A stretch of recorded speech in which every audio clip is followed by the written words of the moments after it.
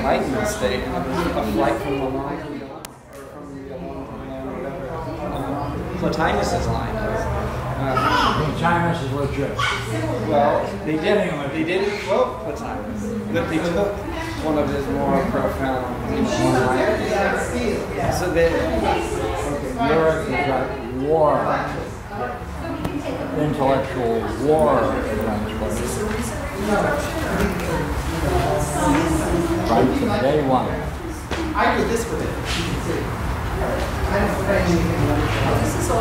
But this book goes into how, so it's the, the book that I'm reading is called Boomeritis. And so they're saying that we were stuck in this flatland type realm of consciousness because of the baby boomer generation. Uh, but they're, they're espousing uh, that we need to emerge out of relativism, out of materialism. And so I think they're sensitive to the fallacy or the insufficiency. How about integral philosophy? Yeah, integral psychology, integral philosophy. psychology. It's the same. They, Know where it comes from? Where? Sri Aurobindo. Oh, that makes sense. I think they quoted Sri Aurobindo. Sri Aurobindo is their goddess. Yeah, yeah. Sri Aurobindo and Gandhi, they have the same mark. Neither of them were Hindus.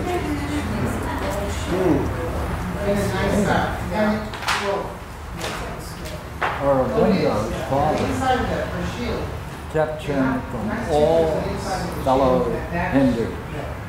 And at the age of five, wrapped him up and sent him to England. He was educated only in English schools.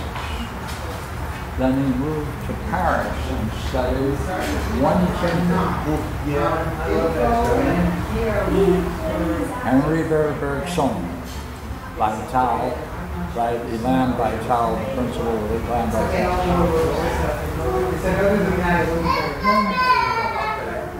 In India, there was a revolt against the British, so he zoomed to India.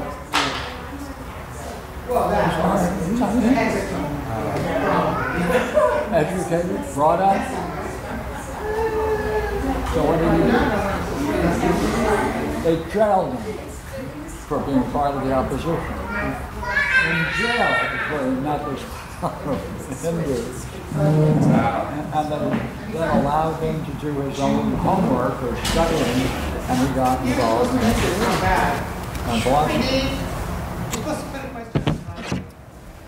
Everybody. Gandhi was never in never in India. He, he was from Africa, South Africa. So when the revolt started, he too ran to India. He said, I don't know anything about India. So he took train rides all over the place so he could learn, take a look at what India was. He never been to India. Both of them. But I'm looking for home. So, was Sri Aurobindo's original mentor or thinker that influenced him? What was his? What, what were his? Uh, the thinker that you said influenced Sri Aurobindo initially? In, Then Sri Aurobindo uh, elected Haridas Chaudhuri, his philosopher, It's supposed to sent be the United States by the, to of the statue by the the famous artist, artist Phidias. And it's supposed to be the 40 One of his central statue works that's in the parking lot. is In ivory and gold. Ah, philosophy, and integral And solid. It supposed to be philosophy. ivory. that is Gold there. and the ivory. Yeah. that is where they're going. Earlier, so that would be forty, would be about that tall. Yeah. I knew the group well. I've never seen it. I found it on the web. Marketable. Like a lot of the language is like. That's all. Yeah. Thank you. And I did a study on the guy, and I had a big file. I gave it to Haridas. Uh, what's his name? Uh, not Haridas Chaudhuri. Um, hmm. Harris. Obadiah Harris, the president of the University of South Asia. Because she was of involved, so they oh, that's a great thing for I said, it's not but we studied it. But it's your book. Never remember. They got the wrong person. He never studied with a Hindu.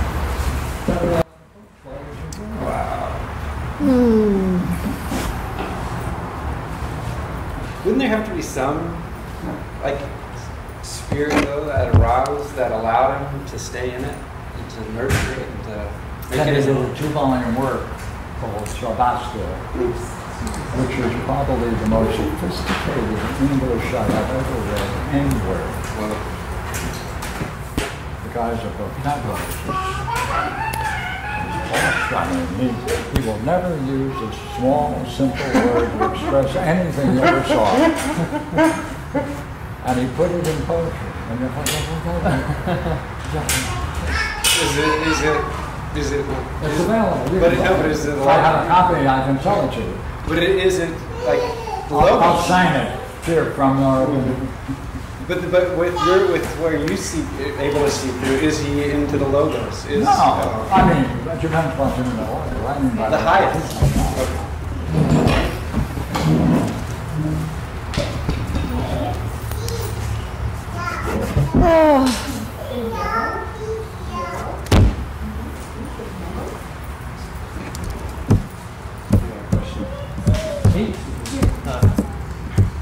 Yeah, so you can get the same thing. You can go through the web now and research your own, and you'll come up with a real stack of information that is, that'll give you insights into the whole background I told and him everything this I said stuff, about and I it. passed those classical to them. Did, you- could we see him have any, uh, like golden chain back to the Greeks or no? Everything is there. Yeah, I know, but in terms of I just didn't where want to come his initial philosophical quest started. Like, we started by saying that integral philosophy I had to was find one Greeks. more person now who wants But one of those. is there any chain that we could take back to the Greeks? Back to Hellenic philosophy? Or no, it's example. There is. There is. Remember Mike Scott? Remember Mike Scott made that whole golden chain? Yeah, he tries to get into, Squeezed it in. the key thing Never is was- he tries to get into the Advaita Vedanta school. So that's the competing system. But it And was quite stacked in there. Like you have to be careful, what, how do you follow the Advaita? Who is the best person? It's where they enter, it's the entry yeah. into. Okay. And there is a real living tradition of this stuff. And primarily it's Gaudapada and Shankaracharya. And Radhakrishna is one of the exponents of it, who put together a four volume work on the Upanishads as a running commentary on all mm. of these two thinkers. So if you can go there and pull out an imagery, then that becomes the foundation for Advaita Vedanta. And that has its roots in Greek philosophy. That has its roots in. In Greek philosophy. In Greek philosophy. Can't we say Oh, that no, Taxila see, influenced Yeah, of course, yes, that's the other side of it. Yeah. Yeah.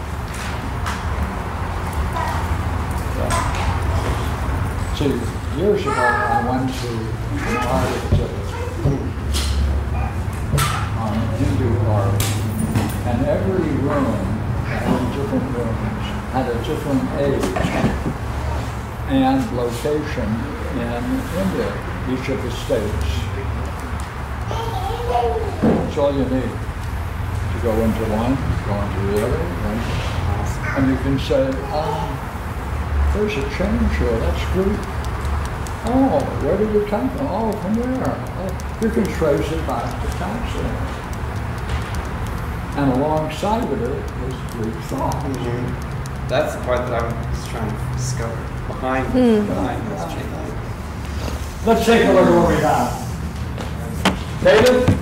wanna play? I got none. That's good. Uh, yeah, if people would like to come to my house for coffee. I don't, that, I didn't write There's that, gonna be there. but I do have a, well, I have a dream, but I didn't write it out, and I might not wanna do it. Well, if you, if you want to, put it up.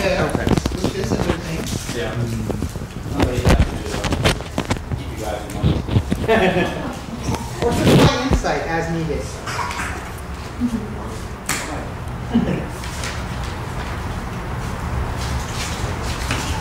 Such a project.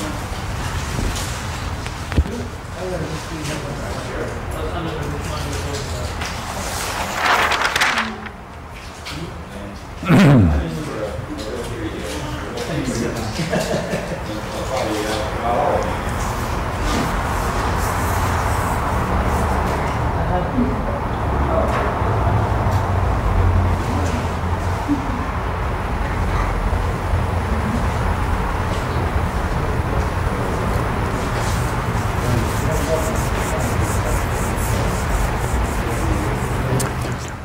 We were playing with the first question with Julie. Mm-hmm. Do you want to go any further?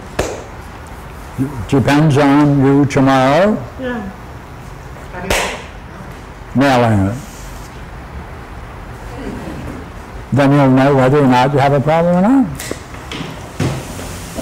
So you have to put a bid The whole thing tomorrow. Yeah. Yeah, I could. So, um, we need a reader.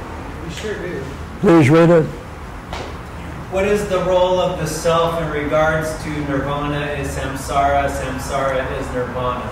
Or how can the Buddhists say nirvana is samsara, samsara is nirvana without the self?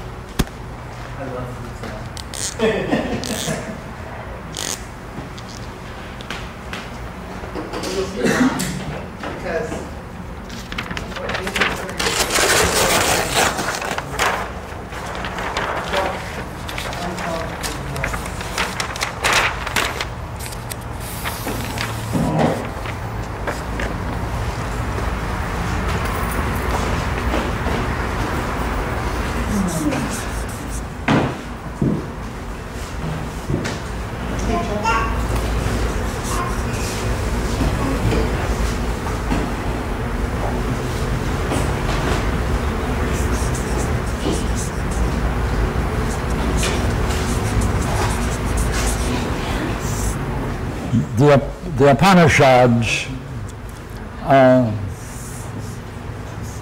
there are 103 of them, and in several, the idea of the self is central.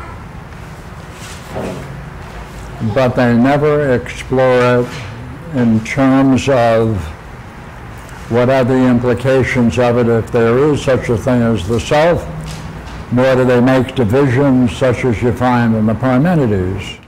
In any case, they made a distinction of the self as Atman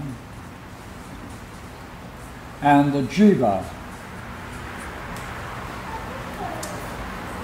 Now, the Jiva is the, what you might call today the personality.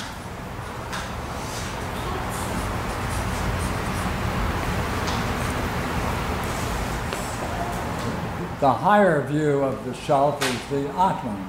They build a philosophy on Atman as the self.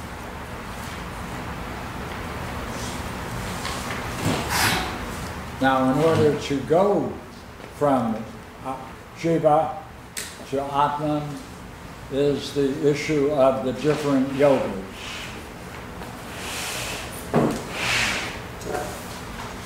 Now, the uh, most interesting thinkers in this game is Shankaracharya,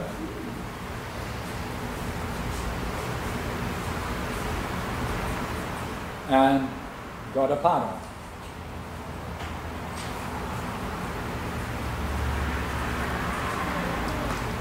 They're the principal thinkers that started the highest aspect of Hindu philosophy. Now, the Buddhists came along, and Buddha is the name, is a title. That's not his name. Buddha means mind. So, uh, so Buddha as mind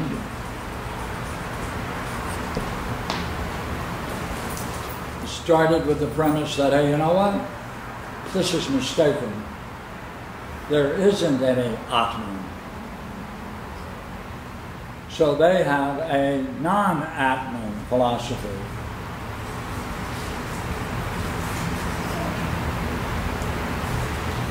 And what that means is in, in the highest, in the more profound states of samadhi, there is no evidence of a self.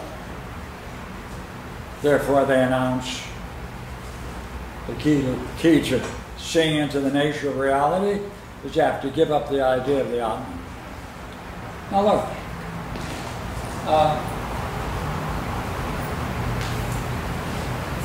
see, now they have a problem.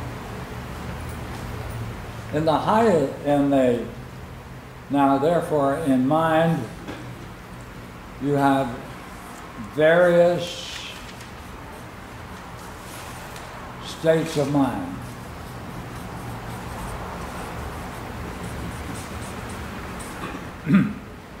and in northern uh, northern India, see Buddhism started growing in India, and then there was a counter movement against them, and they went north. And the, therefore, you can call the northern Buddhists what has been called Mahayana Buddhism, which means great. Maha, great, yana, study of. Right? Mahayana Buddhism, study of the greater Buddhism. Therefore, only Buddhists call themselves, but no Hindu would want to call them a Mahayana. Therefore, they prefer to call themselves Northern Buddhists and Southern Buddhists or Theravada. So what? In the various states of mind, you're talking about nirvana. No self.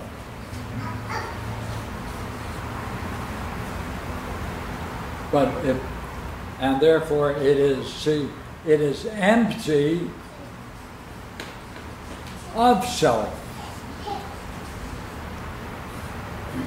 It is, it is not true that they are positing emptiness, it's emptiness of the self. Well, okay, then what's the rest of this samsara?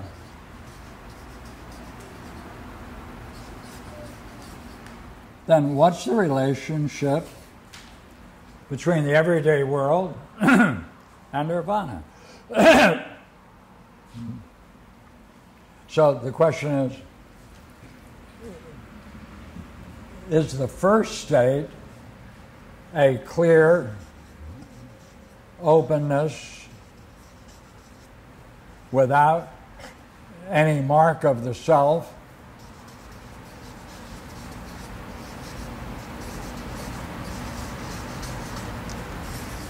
Is that the highest? Well, then. The other extreme is samsara. Well, then they have a dualism, a severe dualism. Therefore, they want to now go the next step and say, while this can be said to the most profound state, it's not. Because you are making a distinction. So you're making a distinction without any mark of the self. Oh, then it's not really clear and open. Well, wait a minute. Maybe samsara, looked at from the view of the highest state,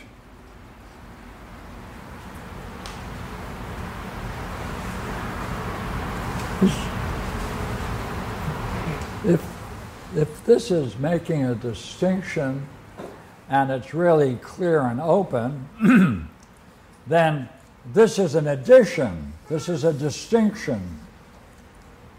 So, what would it be to be clear and open without any distinction?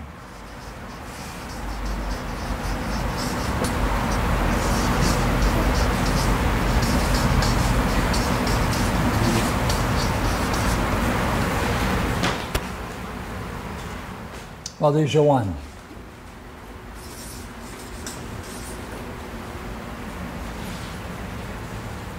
That's higher. Now, of course, they have the Four Noble Truths and the Eightfold Path.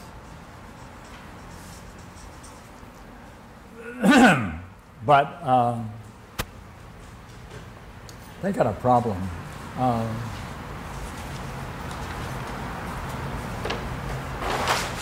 they ask these questions. See, samsara is suffering. What? Um, what is suffering? now, some people put in the word "what is pain," but that's not the true. It's dukkha in Sanskrit. It really means suffering. What is it? What's the origin of it?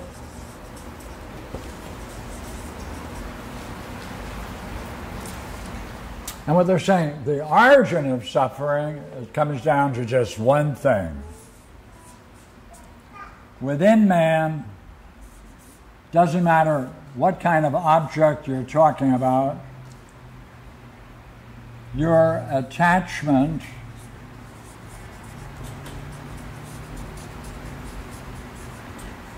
to any object is the source of suffering. Since it is always in flux and changing. So, what's their solution? stop, stop, stop that grasping.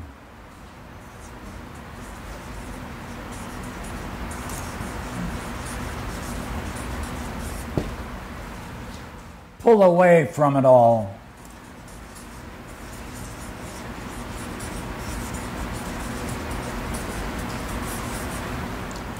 So that's a withdrawal from the object.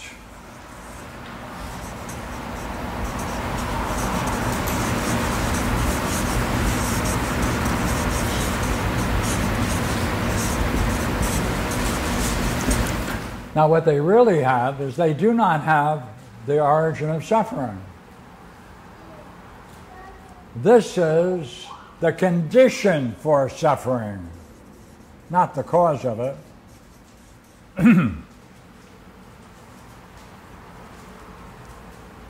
See,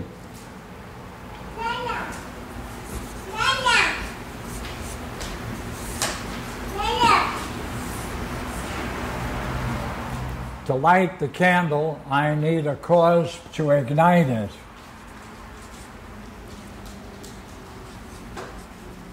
But there has to be conditions that allow that. There has to be a certain temperature. There has to be a certain level of oxygen. There has to be a, a material that is flammable. These are the conditions, not the cause. So what they have is not the cause or the origin of suffering, but the condition for it. The uh, what suffering is is the consequence of having a false belief about the nature of reality in yourself. That's a cause.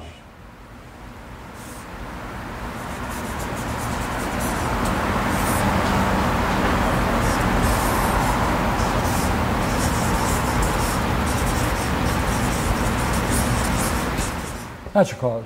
Not the condition, that's the cause. Now, you see, now you can't use the word self in this game in a pure sense. You can't use the idea of self. Because they have and emptiness have no self. Uh,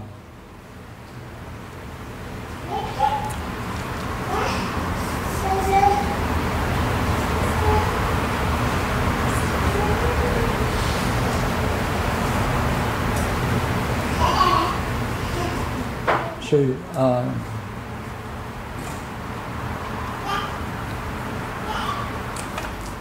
How can the Buddhists say nirvana and samsara is nirvana without the idea or without the self. No, it's the other way around. The Buddhists say nirvana and samsara are one, and that is a higher nirvana, and it ain't got the soul. By definition, has no soul.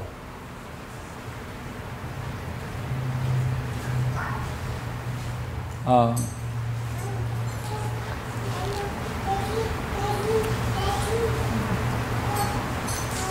now, this is uh,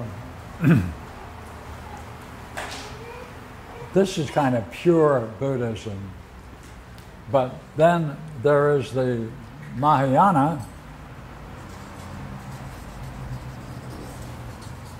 Northern School,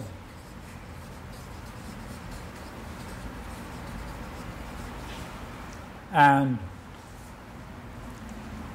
they explore the idea of, of a enduring self that goes through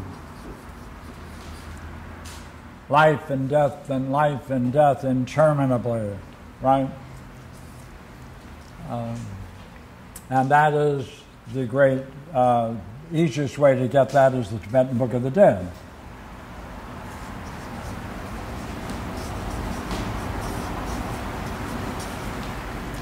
So, therefore, the idea of the self comes back in Mahayana.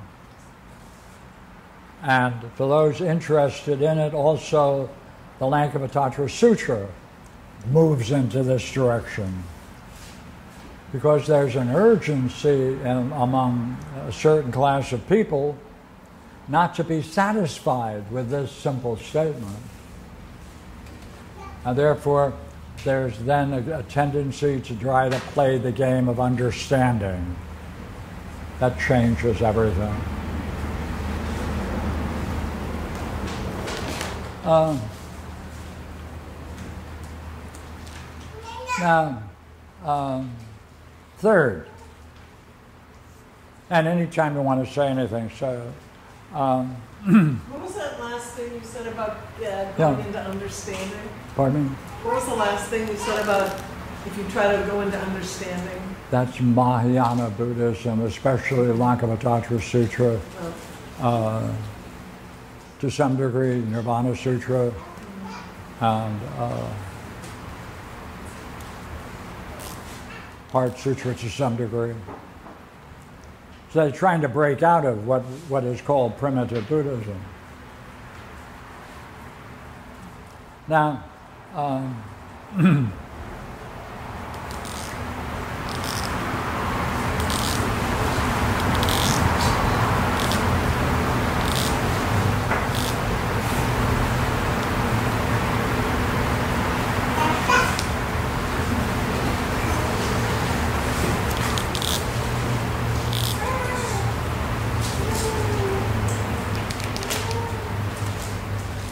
say, um,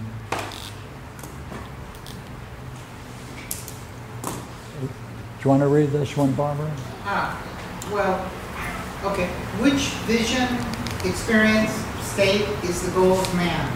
Self, oneself, or the one? Can any of them be shown to be higher or ultimate? Which one and how?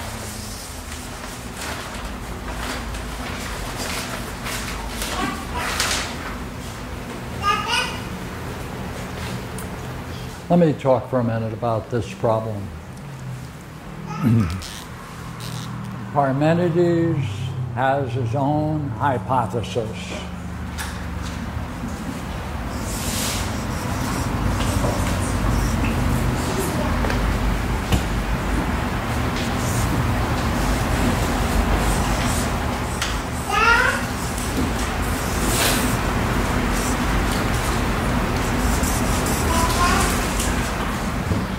There's no gap.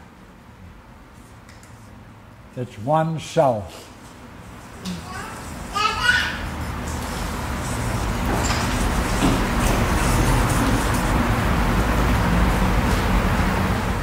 Now, It takes some skill in reading because Parmenides has a way of reasoning which you have to grasp, which is he's going to have to develop an argument.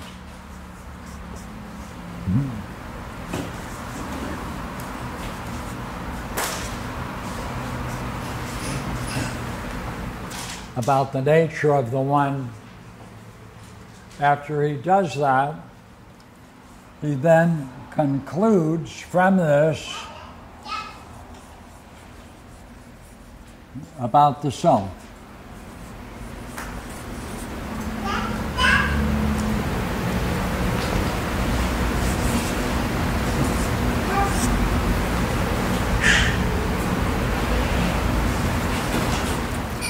He'll do this repeatedly. This is his model.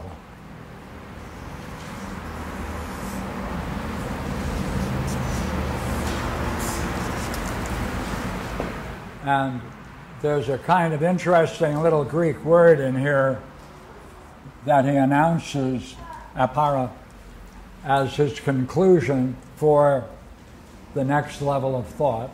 So that repeats itself all the way through the first hypothesis. Now, there are only several possibilities.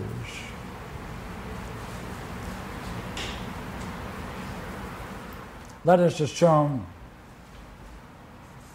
we have this repeating itself again and again and again. Now you should be able to go back and look at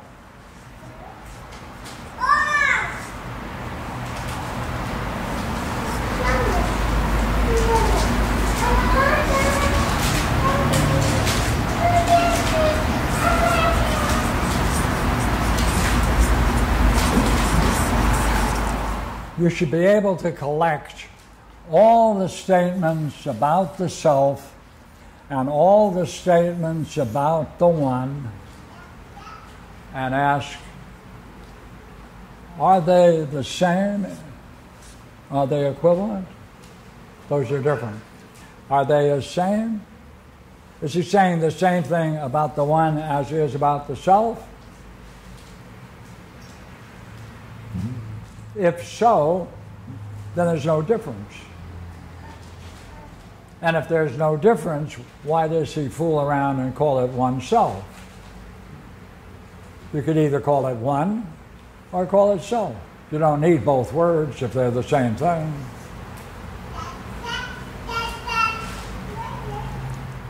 So now that means you have to go back and cultivate all the references to the self and collect them and ask yourself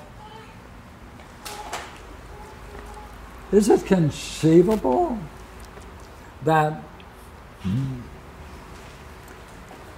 that he's making a very clear statement somewhere in the text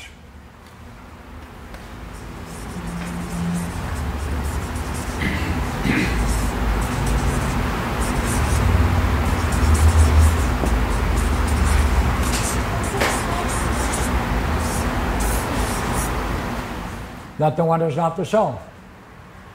Possible. Uh oh. Then there must be a difference. But wait a minute.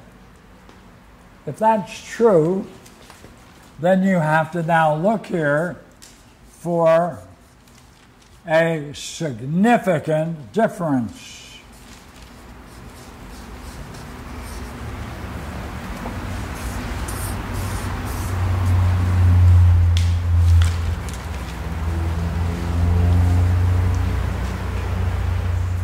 Well, let's assume for the moment it's there. Okay? It's there. Now, see, this question is raising the issue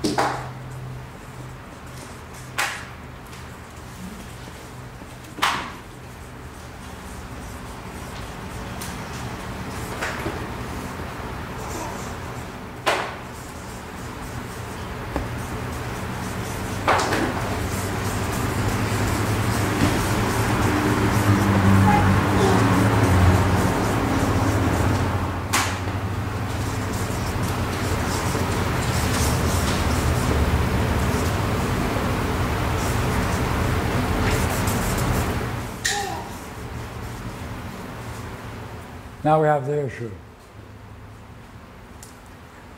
Let us assume there is a difference. So what? You have two choices. Does that difference mean you're dealing with something better by, the, by virtue of that difference? Could it then be higher and more profound because of that difference? Or does it indicate the difference, therefore, is less than and does not achieve the same status as the one?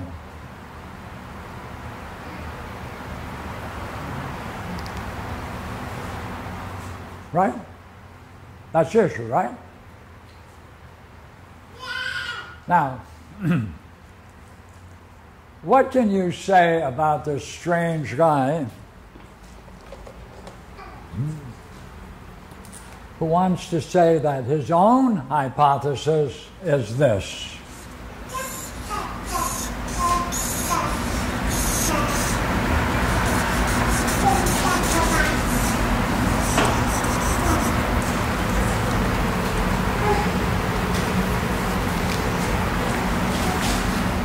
It could be both higher or lower.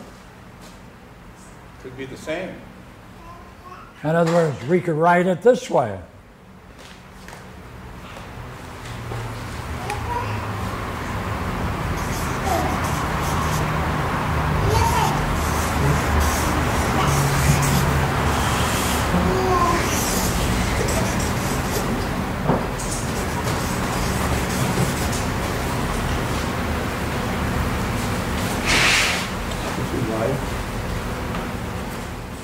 He writes it oneself, one same thing. So now, how would you decide which of the three ways is proper? So come on, we speculate. Come on.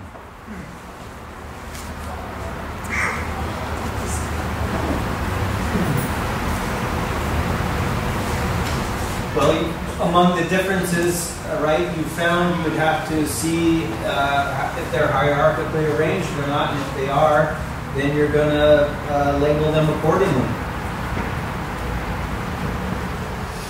More. Go ahead. Keep going. Therefore, go ahead.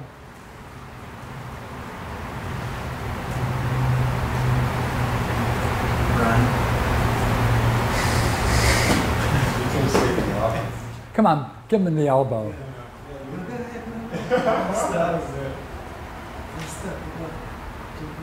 you want to help him? You, you ended by saying that Parmenides' hypothesis is one self. Right. And through the first hypothesis, he is making subtle distinctions between one and self. Righto.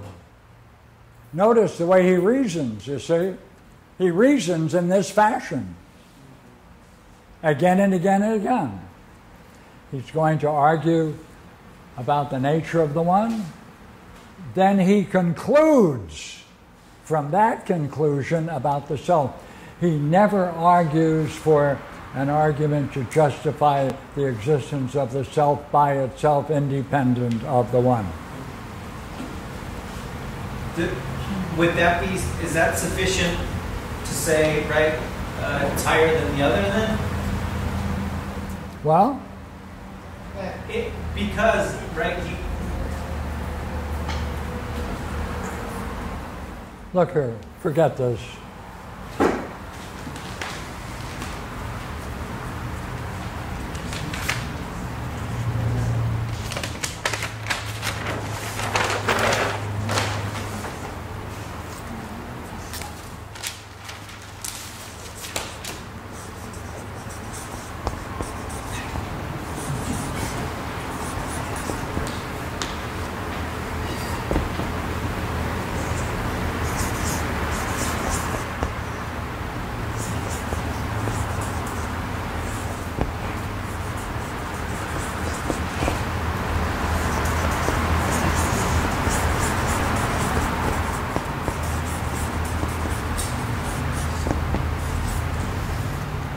Well, well, what is man? Well, man is, is uh, both masculine and feminine, and uh, uh, therefore, uh, by the way, would you not agree that of the two, the, the male is more significant?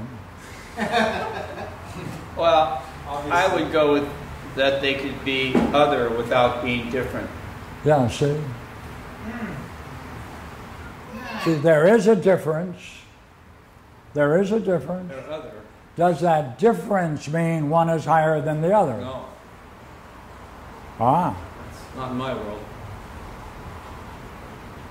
can we use that reasoning over here, or does it, it doesn't fit? Would you not have to describe both? See, suppose you were to reason in the way Parmenides is doing. Okay, you can have the following arguments about what it is to be masculine. At the conclusion,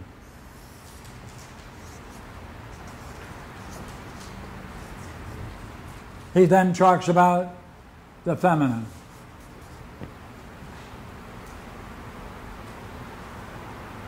But he never describes what the feminine is independent of the male.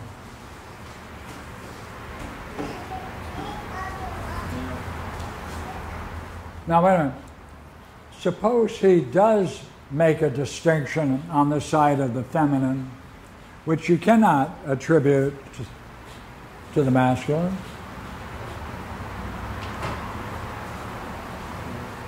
Could that difference make any difference about the nature of man?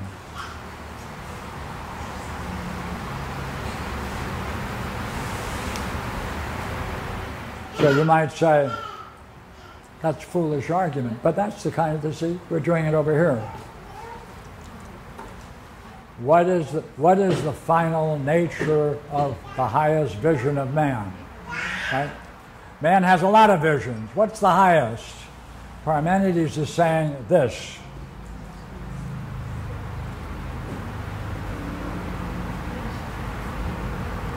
See, he reasons if the if the one right? If the one self right is and then uh, then we can talk about the one and the many. Yeah we can talk about that. But you have to go back and talk about what it means to be the self. So how will you decide? I don't know. In fact, I have a further problem, which is if you consider that, if you use the Venn diagram model, characteristics about the one, characteristics about the self, characteristics they have in common. What do you do with that? Is the one self the entire set? Is the one self the set they have in common? It's similar to the question here. Are the characteristics about the feminine part of what it is, what man is? It just, I, um, because I guess, would they have to be by necessity since man is both masculine and feminine? I mean, contains both? So then feminine, disti- what distinguishes the feminine as feminine have to be characteristics in the class of what is characteristic of man?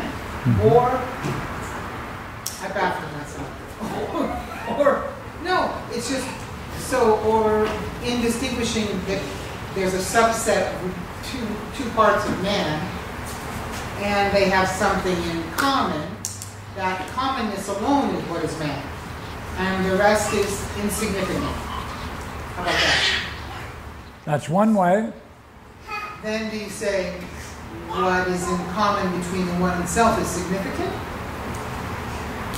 And what is what what distinguishes the self is not significant?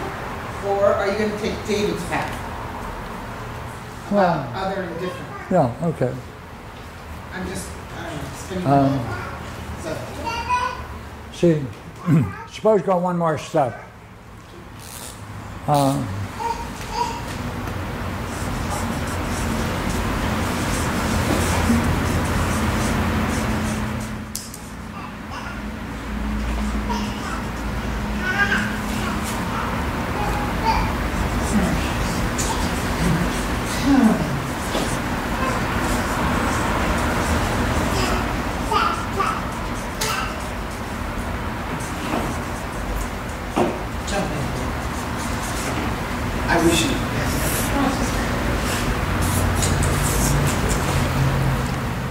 What if the difference between them is in its being the same in some way, only in some way?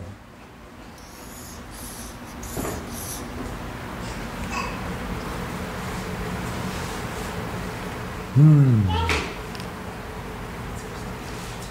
Then you have to look and see how that difference can be described and only in, and now he qualifies what he means by saying in some way do not confuse that he says. I am not asserting that it is the same. And the same way i'm not going to argue that it's different. So it's only in some way. So now our difference now is going to be again where is it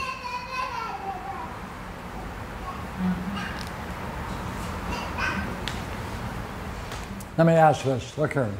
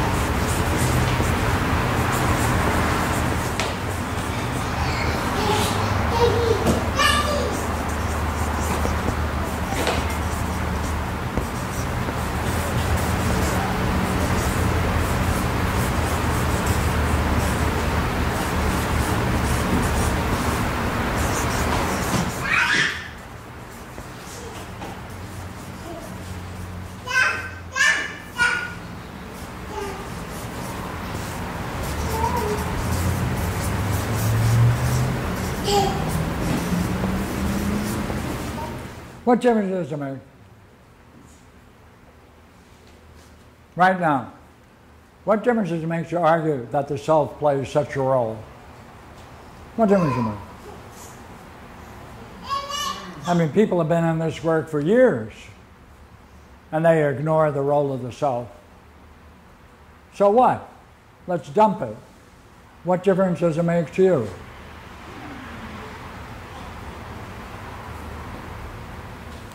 By the way, do you have a soul?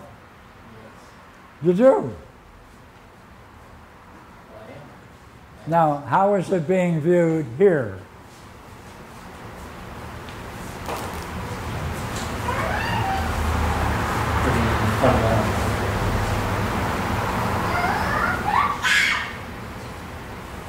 Vivifies it, makes it personal, uh, makes it uh, a, a, question about the nature, the role of ignorance and wisdom, about concerning our view of reality, whether right. we have a true view of reality or one that's false.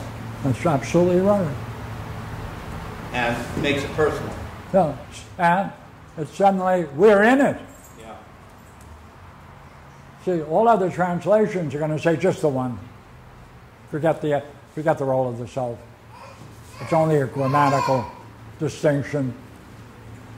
Right? You should just use the word same and forget about self. So look here. Then it puts it puts what we are, self, way up on top, metaphysical.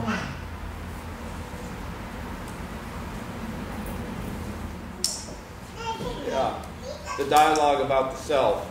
That's what they say about the Parmenides. Yeah. it's a dialogue about the self. You see that underneath all the titles. Yeah, and that's, see? Because if he's developing his reasoning, showing its similarity and difference, similarity and difference, then he's making a place for each of those steps for you. Through the whole thing. Then hey, wait a minute, that means he also has to show it in the second hypothesis. And the third hypothesis.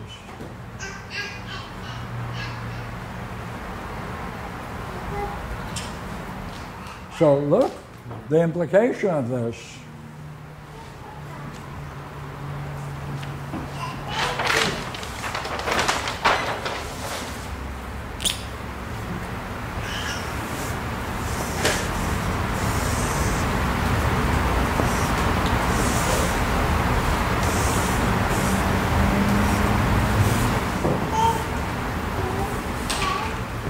Two successive moments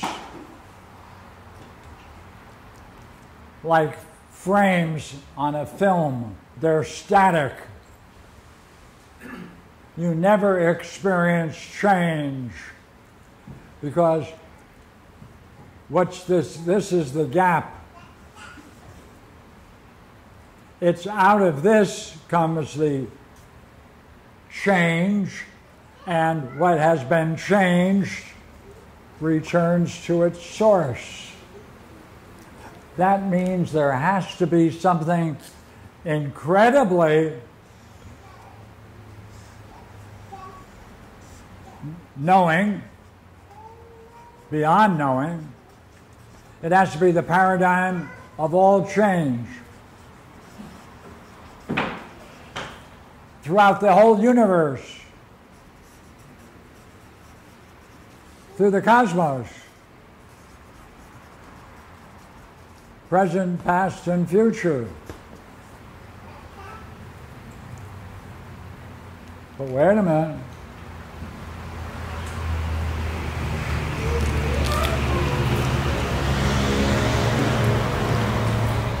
From this, from this paradigm comes what is, what is absolutely most appropriate.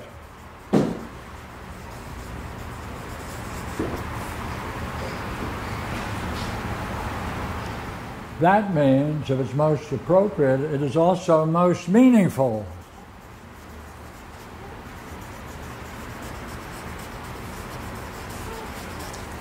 There's one, there's just one word that covers that. Therefore, this has to be providential.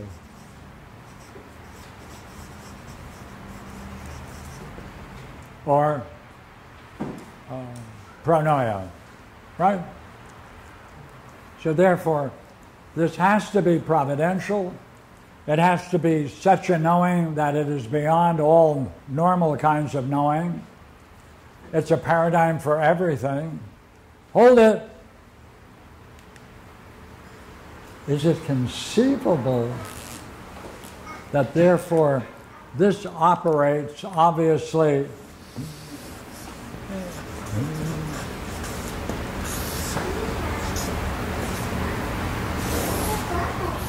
throughout all time. And suppose its source, the source of this stuff,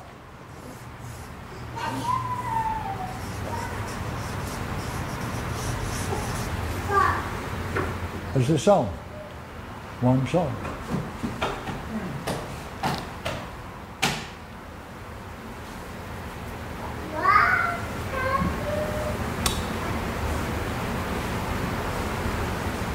See, if mankind can be described in this way, does it not put a certain burden on man to wake up?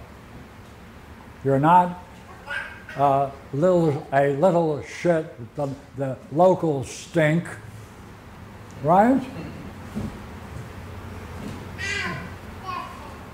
But something incredible worth and you're living through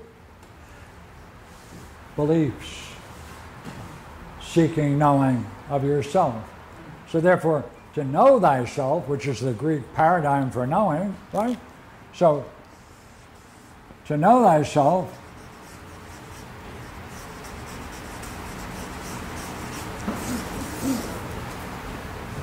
is Apollonian, right? That was Apollo.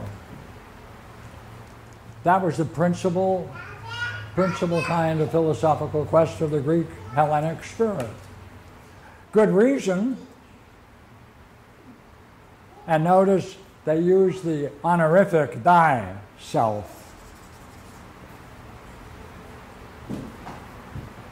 Elevating it. And that's when you put a sigma in front of auto to get thyself. So, Parmenides is leading us along this way, right?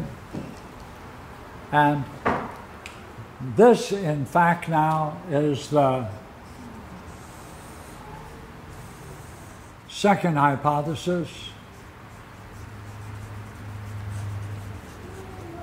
And beyond that, of course, is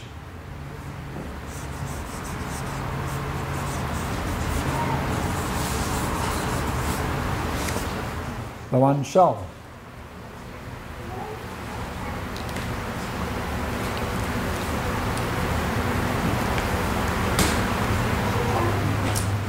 So, um, are you familiar with more than one computer language?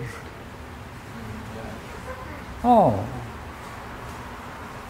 Uh, could you talk about why one is better than the other and under what circumstances? Yeah. Oh. What is the more perfect computer language then? The most expressive. The, The most expressive. expressive, where you don't have the least, you have to do the least amount of typing. and you have to do the least amount of typing. typing. Good. It's more into the mind itself. And what would that be? Ele- I guess you could say. What, what? Elegance or uh, What, what did you say? Elegance. elegance. Yeah, but what would it be? Which, would they have a name?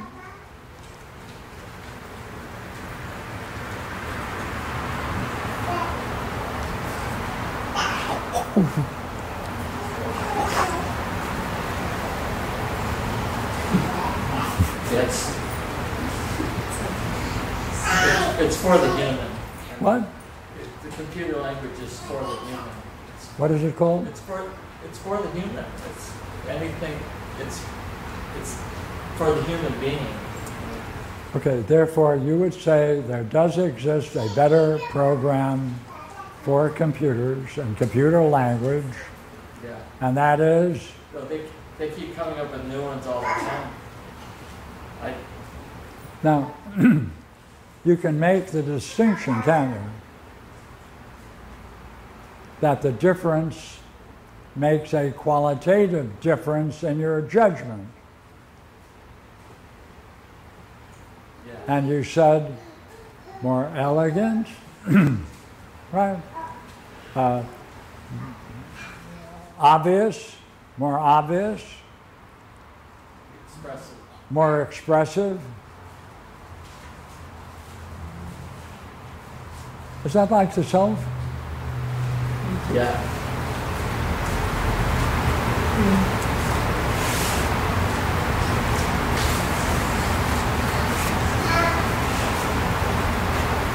So Ah. kind of re- reflection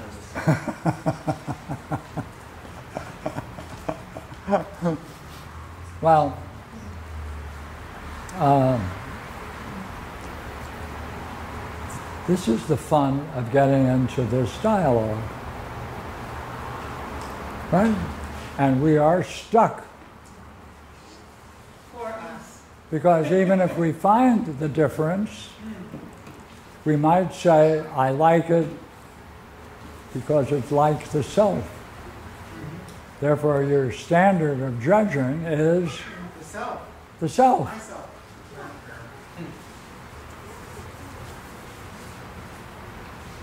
then you're putting a high value on self. self. oh, if we can follow that reasoning, the difference has to make a difference in terms of its ability to allow us to say one is higher than the other.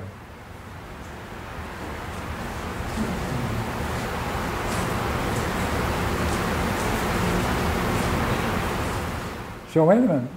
What if he finds something unique to the self that's not cannot be attributed to the one? From your reasoning,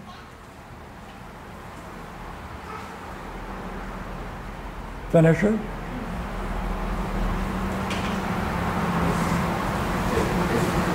It couldn't be. It, I don't. No.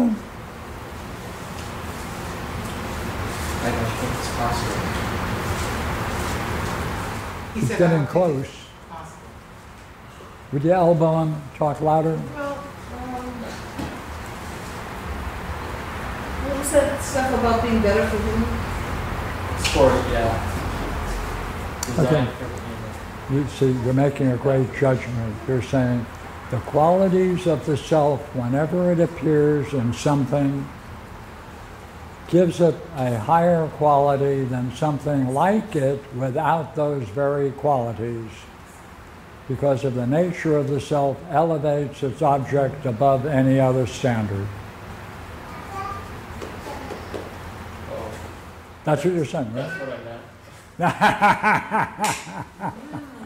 what I.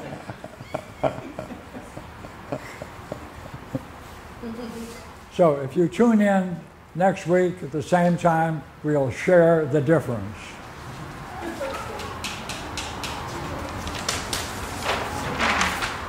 Because I have a good group of people that are going to work like bear to, uh, to- really to get it.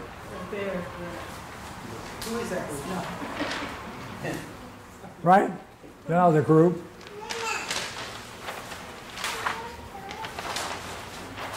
Okay. Oh. What a question.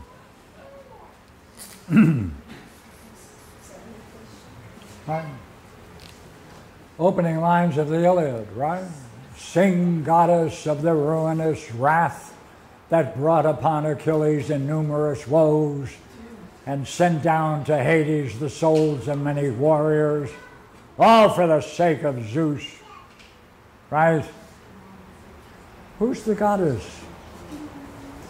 that they're singing to, right? Hey, the whole thing is a song to the goddess. It's easy in the Iliad, I mean in the Odyssey, it's Athena. Yeah.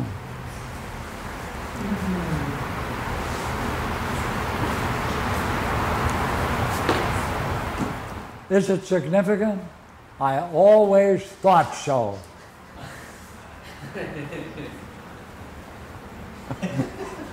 so the question is, how can you how can you how can you recover it? Mm-hmm. Good question. I don't know. Is it your question, sir? Do that?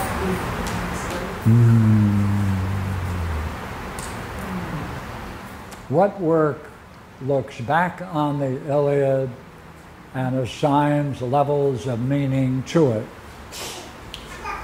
The Odyssey. The Odyssey, right? With the Phaeacians, right? There's a great speech by the Phaeacian, right? The leader, right? And he lays it out. The whole Trojan War only has one reason for its existence. That is so that man can be educated about the nature of his reality. The whole thing is, a, is for man to learn from it.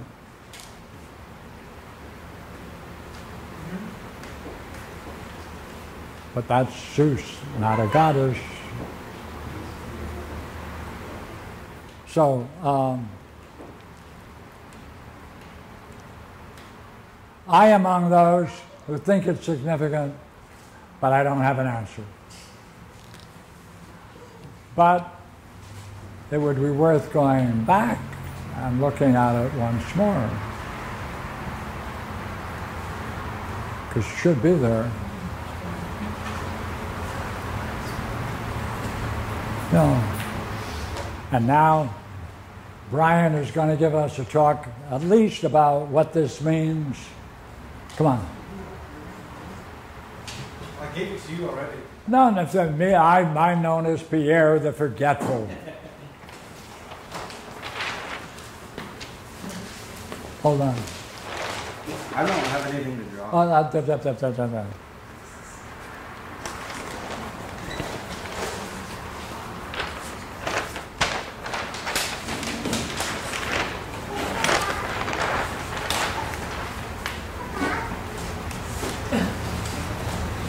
Um, so I put the question mainly to Pierre, because he asked us the question on the board. It was about Ken Wilber. Is anyone familiar with Ken Wilber? Yeah. Um, what do you think about him? Have you read Boomeritis? No. You read any of his works? Yeah. Which one? Um, Okay. um, I forgot the first couple. Because I really Boomeritis is one of the easier ones to get into. It's written more like a novel. It's engaging. Oh, as I'm reading Yeah. it and also exploring Plato's Parmenides, I'm seeing it parallels. And he's writing in a language that's very different, but I think you can maybe trace one to the other, and I think Ken would benefit greatly by getting into the Parmenides. And maybe even like an early student of the Parmenides might benefit by getting into what they're calling spiral dynamics, which is the different stages of spiritual and psychological development of mankind. And there's three primary tiers. Uh, supposedly, man goes through all of them, and essentially, we're not supposed to negate anything. So, like, even when you're at the top tier, you're still engaging some of the more primal aspects and psychological aspects of our existence. Um, so, I'm still new to his work. I was really wondering if Pierre had gotten into it or had other bring it to him because I had a friend recently that brought it to me, said the language I'm using, which was coming out of Parmenides, he's saying, I'm, I have a common vision, and I'm not using anything based on Plato, I'm using everything, my understanding is based on Wilber. Um, so there's a lot of details, lots of books written about integrated psychology, this whole model of spiral dynamics. Um, and Ken's role in it is um, AI, or artificial intelligence. So he came to it thinking that robots or, uh, would potentially reach these higher spiritual states before man because he was thinking their intelligence has the capacity to evolve much quicker than man's. Um, but then when he was introduced to integrated psychology, he says that she saw that now was a gap. And there was a requirement for the programmers, and whoever was behind the AI, to recognize this fundamental psychological growth development phases and imbue that in the program. Mm-hmm. Otherwise, that these mm-hmm. robots would never reach these highest states of enlightenment. And does he think that's possible? I'm, I'm still actually in the reading through Boomeritis, and he's coming to those conclusions. This book was, I think, written a decade ago, and so the technology back then was more rudimentary than where we're at now. Uh, But I do think Is- I'm s- What's the name of it? the book's Boomeritis. Boomeritis? Yeah, because he's saying the baby boomer generation has created a psychosis, the GW boomeritis, and is limiting our capacity to go into this third tier, which is a world-centric, um, kind of like cosmic consciousness state. That then you're able to function through that in your everyday world, um, which then So goes did the far past millennials progressive. Contract that from us or something? Huh? Are they, do the millennials have the boomeritis They as do, well? and they and they're that's the, they're saying that if millennials, the Generation X, Generation Y, stay with the confines of boomeritis, then ecological collapse is inevitable, and the extinction of our species is inevitable. And so they're saying that it's up to more and more people to get into this model of spiral dynamics to hopefully evolve mankind out of the catastrophe. And they don't, do they look at all beliefs or understandings, blocks? They're, they, I mean, I think their model is more like breaking through. Charge. Yeah. There's a psychological model built within it, but they're right now, the book Boomeritis in particular, it's throwing their belief structures in their face like viscerally and making them confront them like this presenters in front of these groups and then with that idea that it might crack their, their sheet. But it's not a self-reflective process. Mm-hmm. Other than just saying, wake up. Question. Mm-hmm. Do you know whether, as they make it up the spiral through this, to the levels, do they ever, like you said, they still are united in some ways with the lower levels, but do they ever like fall back? Backslide, they didn't Yeah, address they didn't address black, because that's, they told me that that's possible with enlightenment experiences. Yeah, they, So- they, they do bring up the, the way the characters in the, this particular book they make these figures once they reach this third tier world-centric cosmic consciousness state. And all the presenters at the seminar they present them as like highly evolved spiritual beings that don't drop in and out.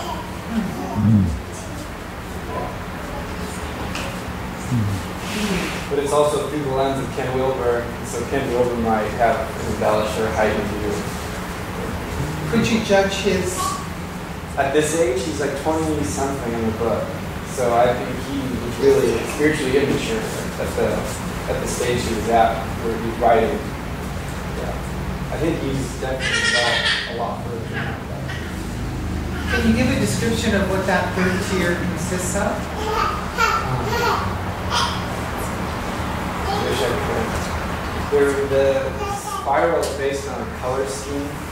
And so I believe it starts with red and then goes all the way up to like, I think the third tier is like purple and turquoise. Um, some of the language they, I mean, I brought up one, one woman who had reached this third tier stage used language that was um, timeless, like Going? flight from the Pleasure. alone. And they're using Goodbye. Goodbye. Two great guys. Two great guys. Okay. And take care of that it too, has as you with, do.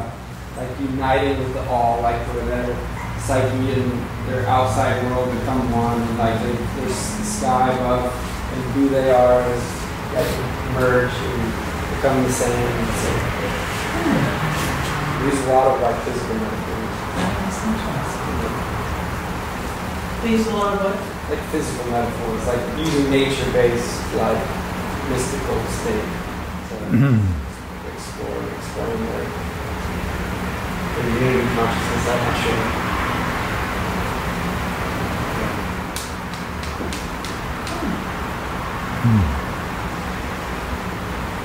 Well, Let him off the hook? Yep. Thank you. Thank you. Notice, hmm. not one mark.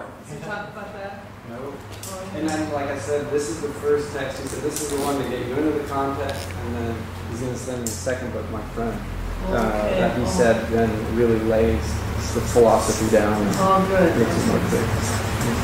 Thank you.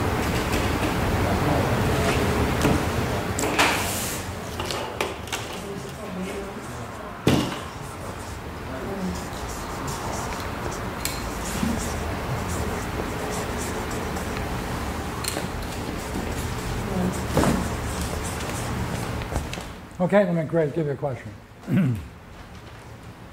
what is the role of what we call the master of dreams or the dream master? Would you agree it reveals an unsuspected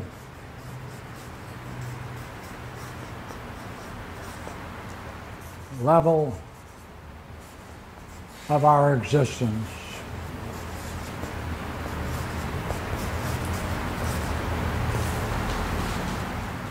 A meaningful level.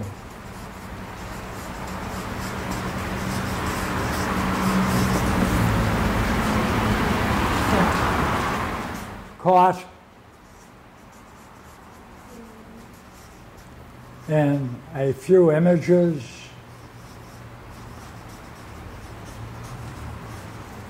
drawn from our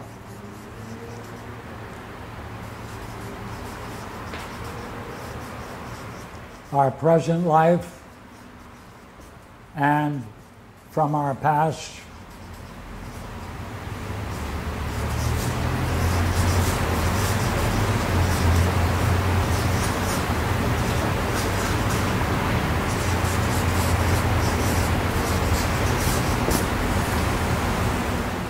with astonishing brevity and insight. Agree? Say. Looks like the uh, Dream Master has an interest in the self. Yes. Oh, but only in Brooklyn? Even in the most distant galaxy, there may be intelligent beings. They're also going to be. Oh, oh. Well, then there is something at the core of reality that has a, hey, all of this together means it's providential. Since the gift is, opens up something for your personal benefit, no one else's.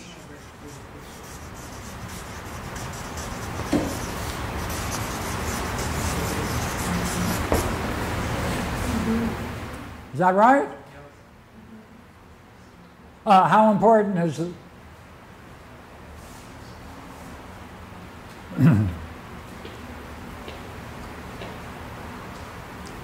well,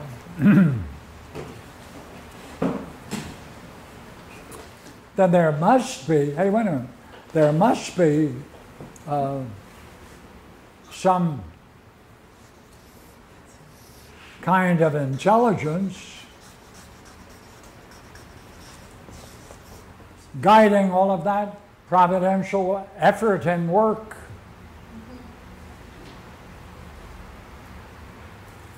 At the core of reality, independent of time and place throughout the universe. Huh.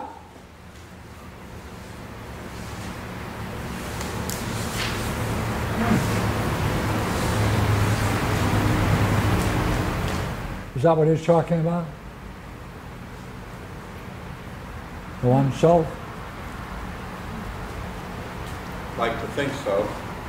It is a one, and it's a self. Therefore, if this is true,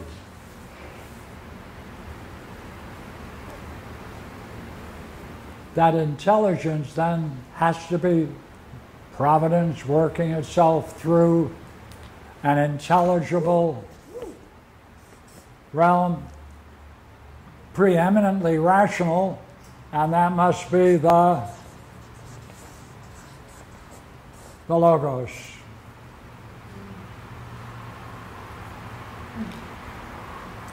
If so, then this is a model of the Logos.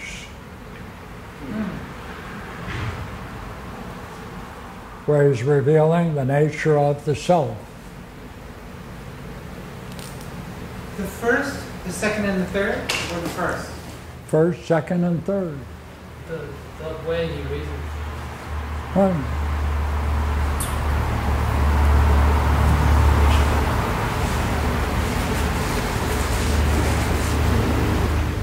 Now, how important is it to play this game? Very, absolutely. That's a way of life. Yeah. Right? To try to uncover the intelligibility of your and life itself. Mm-hmm. That's the game. Mm-hmm. That's our game, noblest game. So let's take a look and see something, okay? I understand we skipped dreams tonight. My God, we did. You got one? Let's go. Hey, huzzah.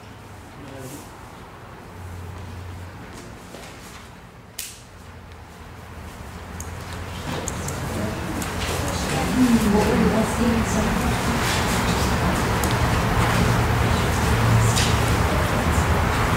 Yes.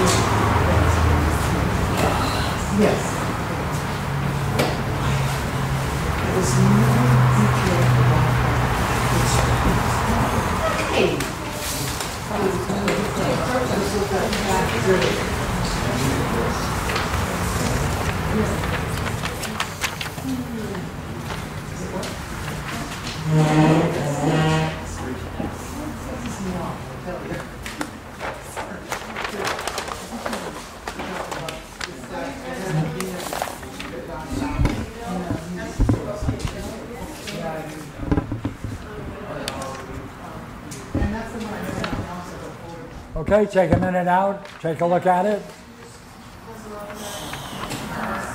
Gonna come tomorrow. Honey and Crawford. Yeah. I get it, I get that. I've lived that one. No, never mind. Here's balance. Yeah. Balance. Could be nice to have them. It's like ridiculous. I think Into the gym. Spell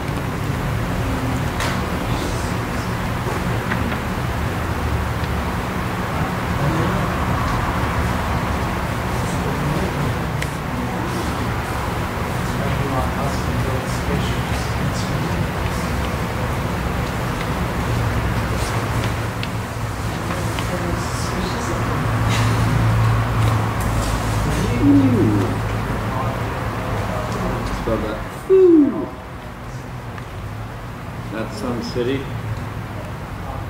I was like, oh, Whoa. I just had to get the right accent. Whoa. I had to make it different from the normal wow. Yeah, it's different. It's a real sincere wow. Yeah, yeah. Like, Okay,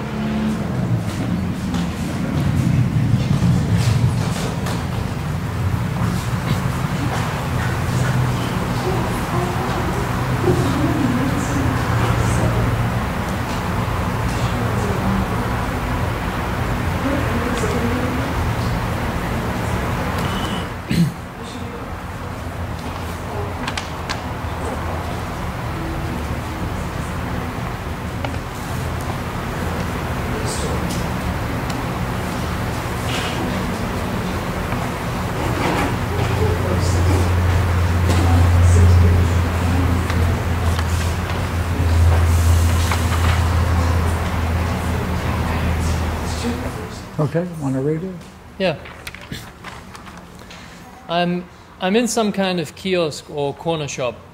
I was sitting there and trying to fix a cell phone. I had to put some little chip back inside of it. I was saying to this really cute, adorable little girl, "See, you have to do this." She was getting closer to me to see what I was doing, and then you have to click this in, and it works. And then I said, Yes, it works.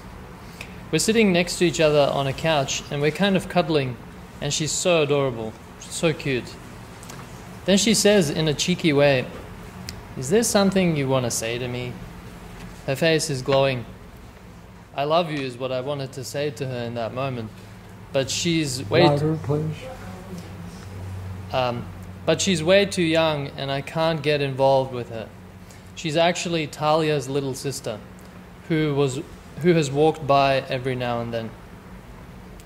I leave that place and now I'm standing on a patio veranda and I'm looking out out at the other side of the street. There are some teenagers or young adults. Then Talia is standing next to me and she mumbles something in their direction. She's saying something bad about them because she doesn't like them. I say, What did you just say? All I heard was dickheads.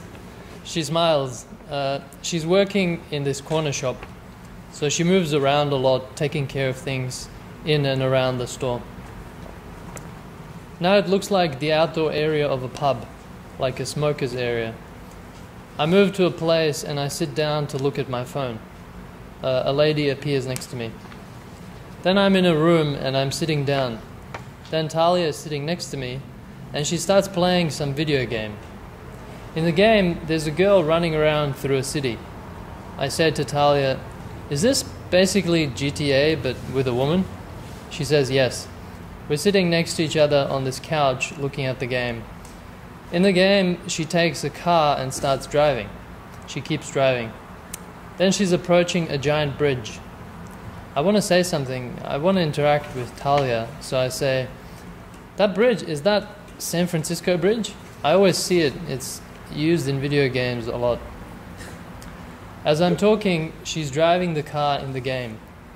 As she's driving, the red bridge bridge looks majestic, and now she's on it. As she's driving onto the sloping uphill part of the bridge, we in our seats are also tilting back as if we're in the car in the game. We're tilting with the car as it's going uphill. She's going up the bridge. As she's going up the bridge, it starts looking more and more majestic and big. Now we're leaning way back, and the big screen is up above us because it's that uphill. The car is pointing up into the sky, and we're looking up into the sky, and it's like, wow. I'm saying, wow, look at that. And the buildings appear just above the road. There's one especially tall building, and it looks like the city is way up in the sky. I say, whoa, that is some city. Have you ever been up in that building? She says yes. She's kind of giggling now because she can tell how I'm feeling. I'm feeling like I'm on a roller coaster. It's really intense. Wow, this is crazy. She's giggling. She just keeps driving up the bridge into the heavens. It really feels like we're there.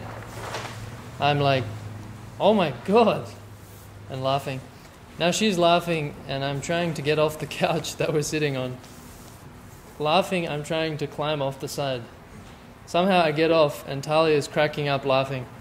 She gets up as well and walks past me and off into some room, looking at me as she walks away, laughing. As she's leaving, I notice some birds around the place. There's an ibis uh, laying down in the bedroom, and there are some other birds around it. I tried to pet the ibis, but it doesn't like it. It goes wah wah, so I ignore it. Uh, so I sit down on a normal couch. I want Talia to come back so we can share in the funny moment. She comes back and she says, "I have a stomach ache." I'm about, and I'm about to say, "Yeah, you do," from playing that game. Yeah, what do you make of it? It's a really fun dream. Hmm? It's a really fun dream. Yeah, what do you make of it? Um,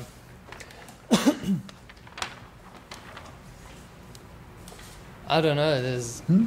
I don't know. There's Well, well, come on, come on, come on, come on. um, this girl Talia. She's a girl that I really like. Uh, that I've liked for a long time, and um, yeah, we um, having some fun.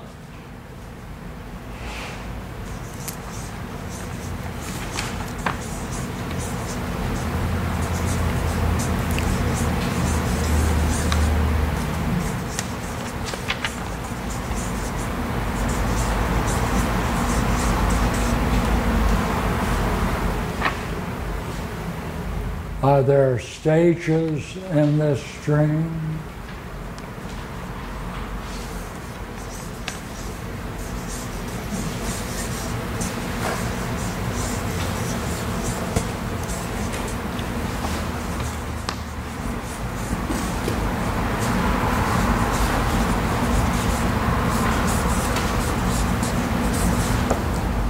Do they reflect states of mind? If so,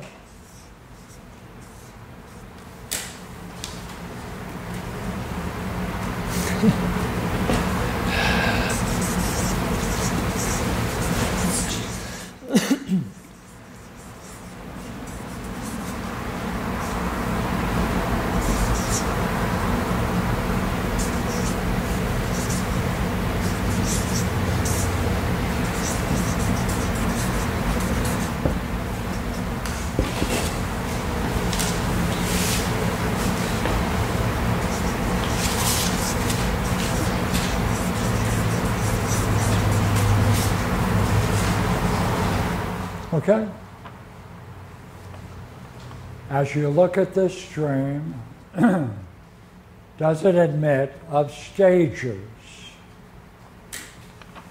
Uh, do they reflect different states of mind? Is it progressive? Where is the crisis? if there is a crisis, does it then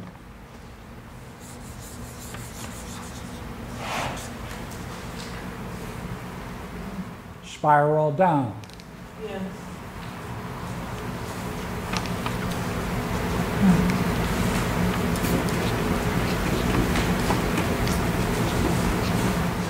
Well, I, I can see two breaks.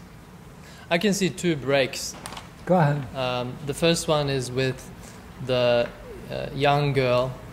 Um, there's a real moment of intimacy, and uh, that's when I I pulled the brake. Yeah. Yeah. Right, right, right. So there is a high. I pull away, right? Go ahead. Uh, and then later, the the other one is with Talia when I'm uh, playing the video game, and at the at the most intense, most profound part is when I get off the couch. Uh, would you read the line where you would say is the high point?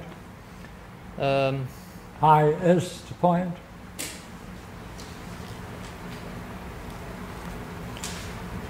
it's about um, about nine lines down in the second last paragraph. Um, wow, this is crazy. Uh, it's really intense. Wow, this is crazy. And I'm laughing. And I'm laughing because it's, it's like I'm on a roller coaster. It's, it's like skydiving or so- something like that. It, it, um, How do you characterize where you are and what you are experiencing? Give me a line. uh, I'm feeling like I'm on a roller coaster. What? I'm feeling like I'm on a roller coaster.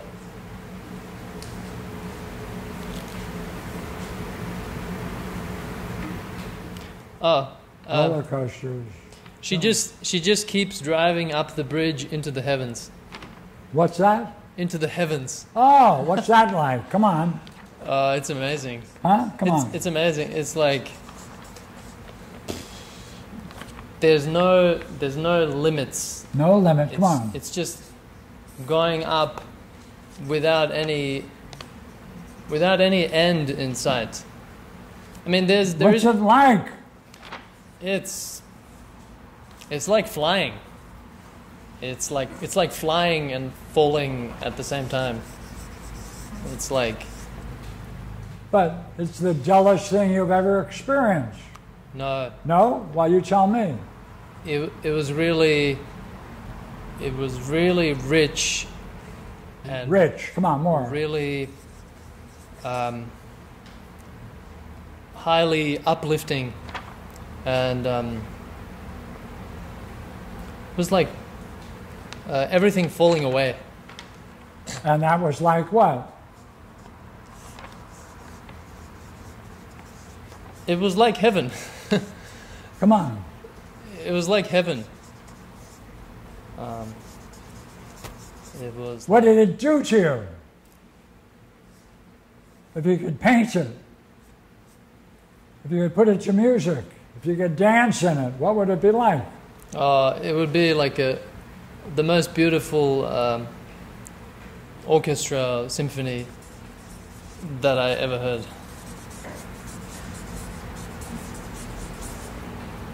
Hey, what happened? Violins. Huh? Uh, I was saying violins, and um, I got scared. I got scared. What happened? In the dream, it's there. I, I, I panicked. Yes, right? What was that like? Come on. Um,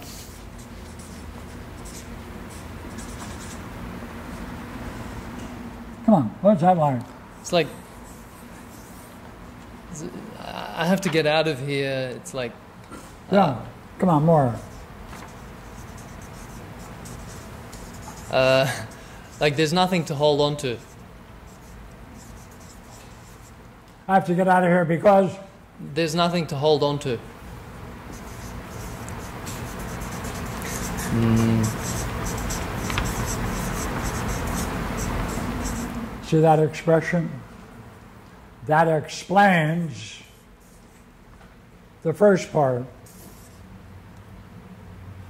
I shouldn't hold on to her. Too young, right? There's something interesting about that language. What's that like? Nothing to hold on to? Um,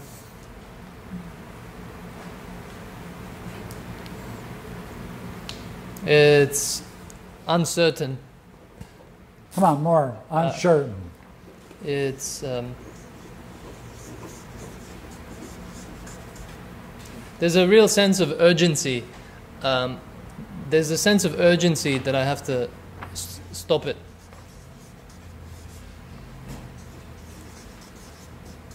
Have to get out of that open. Right? Yeah, Yeah. it was really open, Yeah. so open. Yeah. And what made it even more right. You have to focus. You have to, there's an urgency. Uh, uh, right? Good heavens. Where does that come from?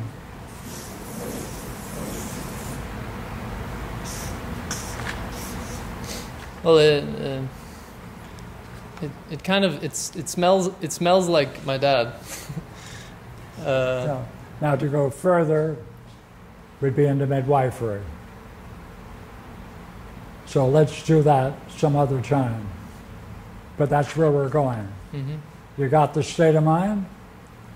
And you'll have to tell me what it was like that you can say, that's like my dad when? How old were you?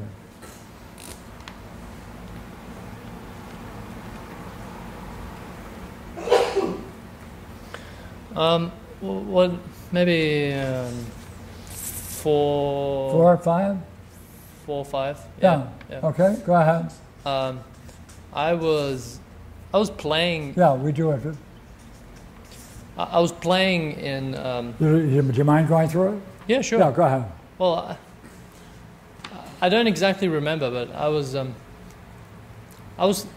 We we were living we were living in a kind of um, kind of a community living situation, and um, there was lots of kids, and I would go out into the yard into the. I would go out and play with the kids, and I think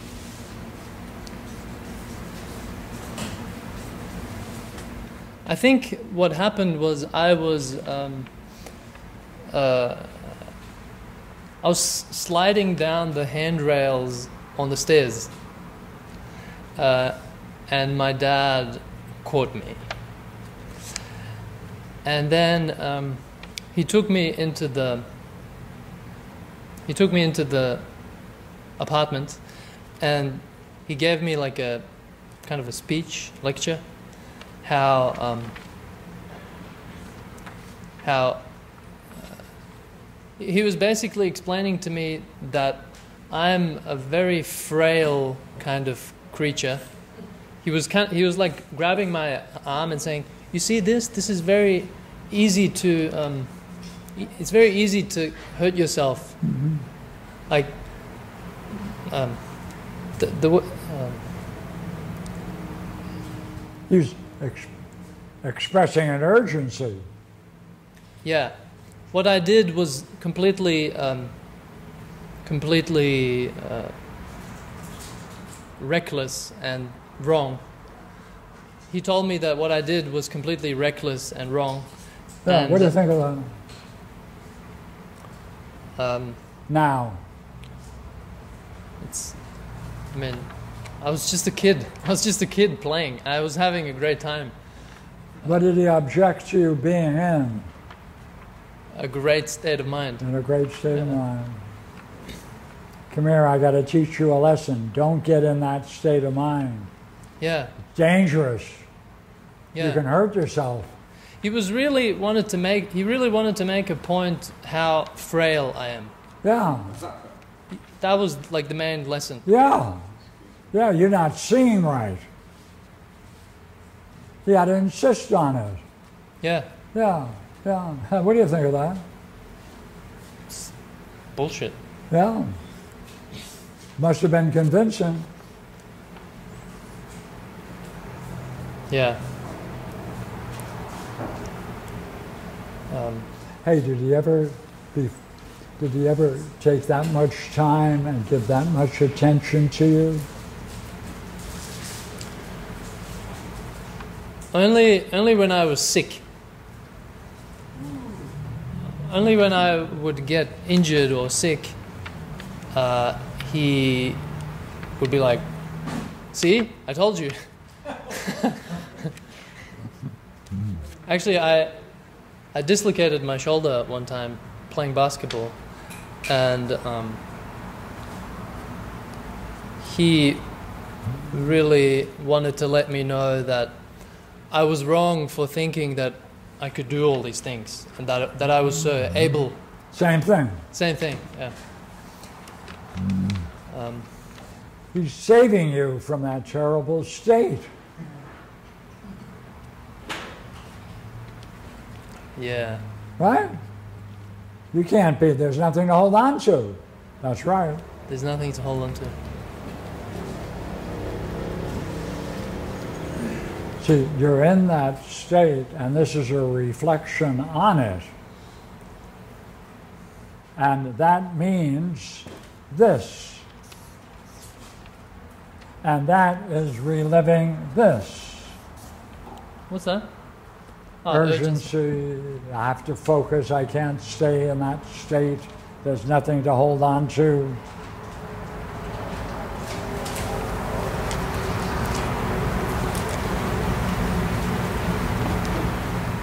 He's showing concern. It appears. He he really appeared very. I, I've never. I don't remember him ever being that um, tender, gentle with me. That's right. It's a rare, unusual, major event that he's trying to keep you from.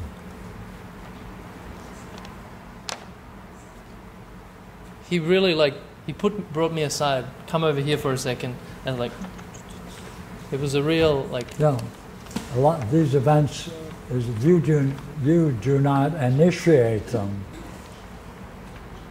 Other people are around doing things and you are with them. Yes. Yeah. That's, that's true. Also, in the scene when I was four, um, he was telling me how bad those other kids were. He was telling me uh, that those those kids are really bad, really crazy. Uh, I I shouldn't. I, I'm not like them.